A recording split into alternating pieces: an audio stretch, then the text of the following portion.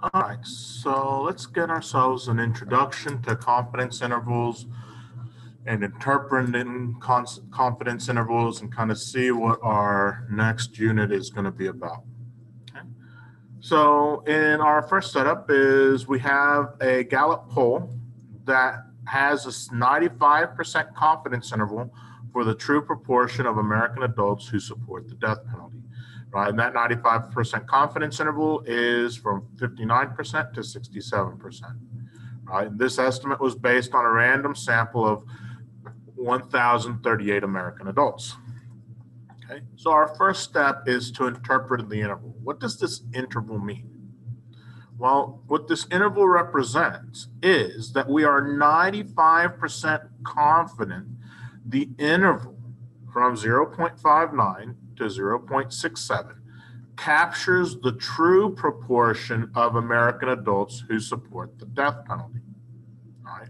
So we're not saying there's a 95% chance that the true proportion is in the interval, but rather that we are 95% confident that the interval captures the true proportion. And this is because of how the confidence intervals get built which is based on the sampling distribution of the sample mean. Okay. Next, we ask, determine the point estimate and the margin of error used to create the interval. Well, our point estimate is nothing more than the center of the interval, right?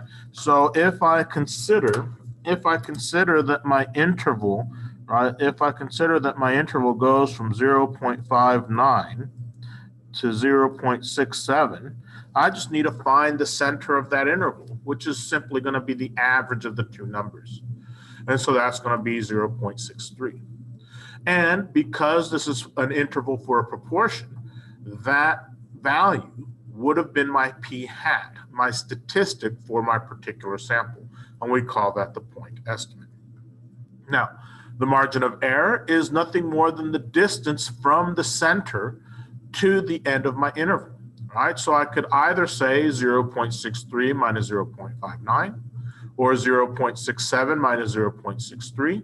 Either way, the distance from the center to the end is 0.04, and that's going to be my margin of error. All right, so basically saying, hey, here's the center of my interval, plus or minus 0.04, right? That I could say I have right, 0.63 plus or minus 0.04, and that is the interval, right? That my interval is 0.63 plus or minus 0.04. Those of you that are in uh, biology and chemistry, you may be more familiar with seeing the notation in that form.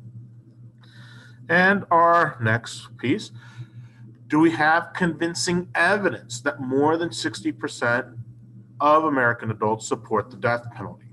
Well, the answer to this would be no, right? There is not convincing evidence because our interval includes values less than or equal to 0.60, right? So less than or equal to 0.60 is within our confidence interval. Therefore, it's plausible to be 0.59 or 0.595, 0.598, all of those being values less than 60%. So I cannot say I have convincing evidence.